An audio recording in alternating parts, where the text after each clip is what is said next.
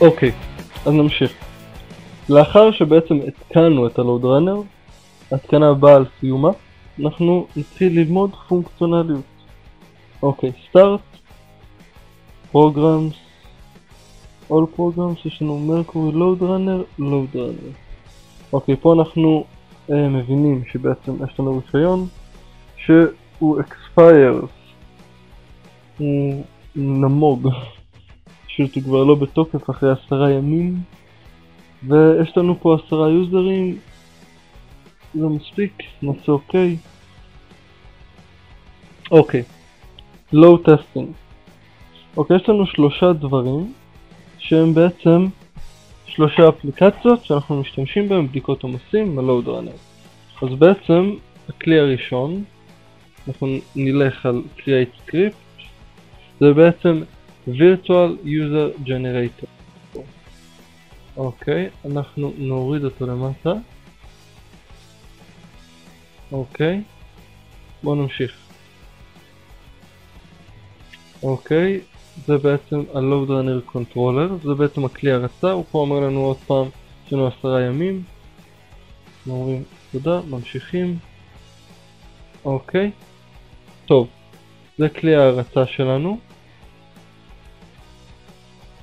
אנחנו נעשה cancel, אנחנו נראה בדיוק, זה הכלי בעצם שאנחנו מקבלים בו גרפים וכל מיני דברים שונים ומשונים, אנחנו נלמד עליהם, וכליש בשביל אנליזה, שזה ניתוח תוצאות. ככה נראים שלושה הכלים, קצת שהם ריקים. אמ, זה הכל. יש לנו גם דבר נוסף, שזה בעצם סרוויס, נלחץ עליו פעמיים. בואו נראה. אוקיי, זה ה agent. זה לא ה service שחשוב לנו, יש לנו service אחר, שזה בעצם service שמודיע לנו על כמה user ים יש אה, רצים בו זמנית או דברים כאלה, אנחנו נגיע לזה. אוקיי. אז בואו נתחיל בעצם עם הכלי הזה. זה ה-Virtual User Generator, הכלי שהוא חינם, שאפשר לעשות בו אוטומציה. אנחנו נלך כאן ל script. אנחנו נעשה, יש לנו Open Existing Script, אם זה כבר script שרשמנו, ויש לנו חדש. בואו נעשה script חדש. פה הוא שואל אותנו על איזה פרוטוקול אנחנו רוצים לעבוד. אנחנו רואים שבגרסה הזאת יש לנו מעט פרוטוקולים כי זה popular protocol, אם נשים all protocol אנחנו נקבל פרוטוקולים רבים. אפשר לציין, הנה אנחנו יכולים לראות יש לנו פרוטוקול של SAP, יש לנו של, סליחה אני עברתי פה, נחזור ל all protocol, יש לנו פרוטוקולים של database כמו Oracle, יש לנו פרוטוקולים של פלם, כל מיני פרוטוקולים. מה שאנחנו נשתמש, אנחנו בעצם נעשה login ו logout מאתר מסוים, אנחנו נקליט, וזה בעצם יהיה ה script שלנו. ובגלל זה אנחנו נעשה את זה על אתר בצורה וובית, שזה אומר שיש לנו פרוטוקול web. כמו שאנחנו רואים פה, אנחנו נלחץ אוקיי. טוב, start recording. זה בעצם שואל אותנו להכניס כל מיני פרמטרים שאנחנו נדון בהם, נדון בהם עוד רגע. במקרה אנחנו עושים cancel, אנחנו יכולים להעלות את זה שוב על ידי לחיצה על start record.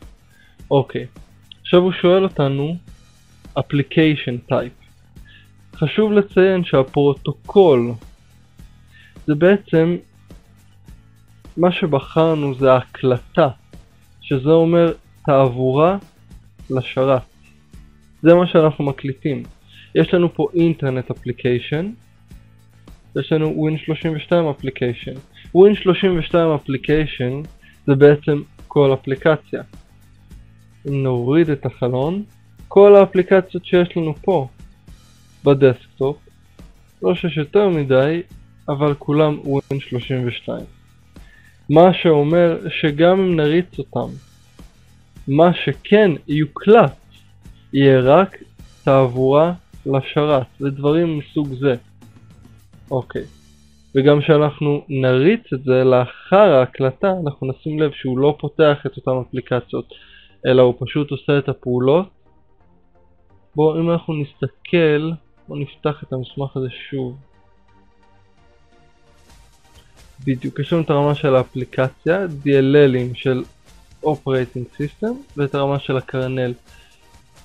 אנחנו עם ה-Load Runner, כמו שאמרנו, אנחנו מגיעים ישר לשכבות האלה. לכן אנחנו לא מתעסקים ברמת האפליקציה.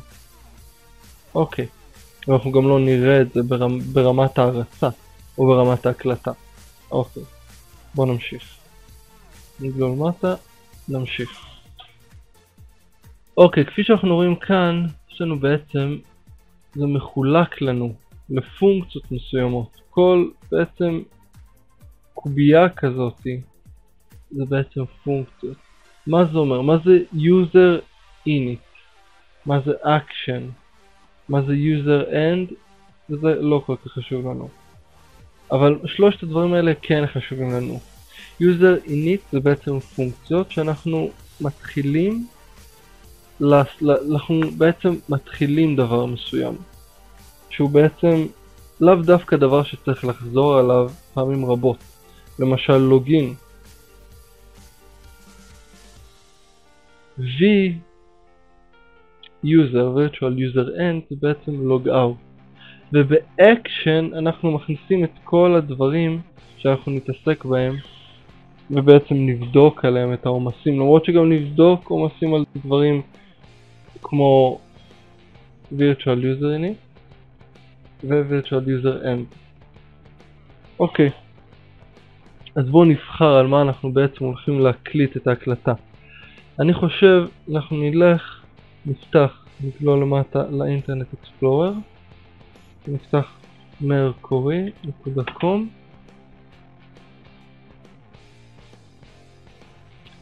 ניכנס ל-United States, אנחנו צריכים לתת לו את ה-path לכן כדאי שניכנס קודם כל ל-download.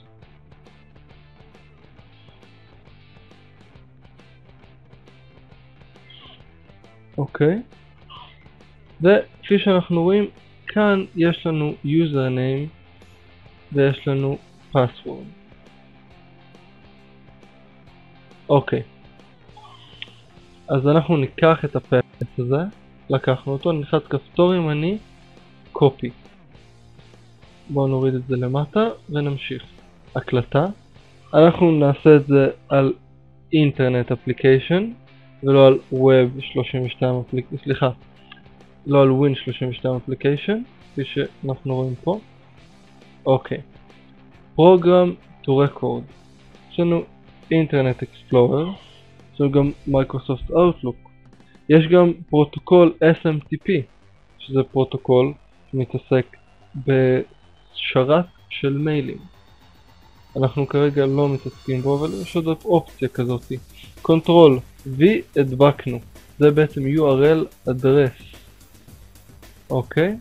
וכמובן ה-path שאנחנו עובדים בתוכו working directory, זה בסדר גמור. אוקיי, record action, record into action, אנחנו נתחיל עם בעצם login. אוקיי. יש לנו פה עוד כל מיני אופציות שהן לא חשובות לעכשיו וזה בסדר. אנחנו נלחץ אוקיי.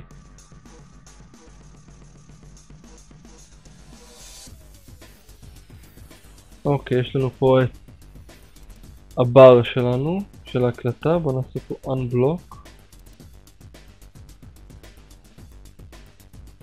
אנחנו כבר מקבלים איבנטים שעוברים לשרת.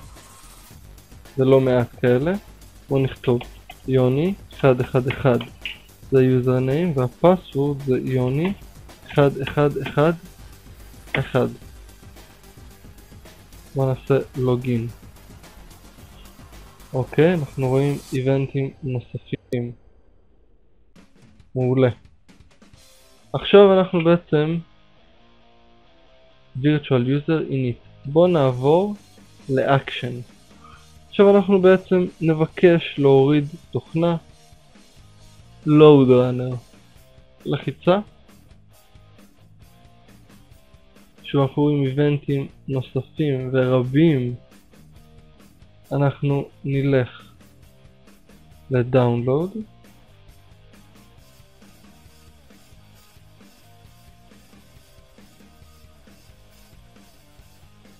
ופה אנחנו נסגור את החלון. אנחנו רואים שהוא לא... טוב, לקח עוד איבנטים, זה בסדר גמור. אנחנו נצטרך עכשיו לעשות לוגאוט. בואו נחפש איפה יש לנו את האופציה לעשות לוגאוט, כי להוריד ממש זה לא הכוונה שלנו. אוקיי, יש לנו פה לוגאוט, אנחנו רואים. אנחנו כרגע נעבור ל-virtual user and ונעשה לו גב. אוקיי, עשינו לו גב. אוקיי. פה זה מסתיים, בואו נסגור. ונעשה סטופ.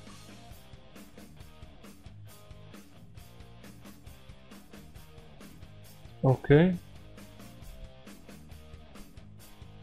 אוקיי.